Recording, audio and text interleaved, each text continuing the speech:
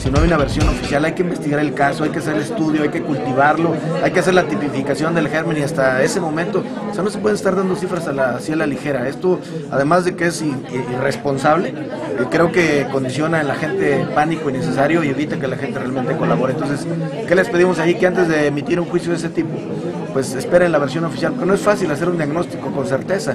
Insisto, hay que atender al enfermo, resolverle su cuadro clínico, pero se toma una muestra y esa muestra tiene que llevar todo un procedimiento médico y epidemiológico y de laboratorio para confirmar el diagnóstico. Mientras no tengamos eso, pues simplemente son emisiones de gente que, bueno, que debe de, conservar la calma y no emitir juicios a la ligera. El último corte reporta dos personas nada más.